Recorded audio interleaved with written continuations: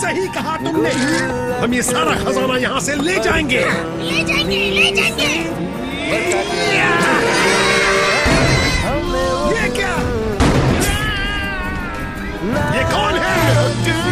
Captain captain captain. Captain? तुम जैसे समुद्री डाकुओं की वजह से ये पूरा समुद्र खराब होता है। तो अब मैं बताऊँगा कि हिस्पानियोला शिप का कैप्टन कौन है।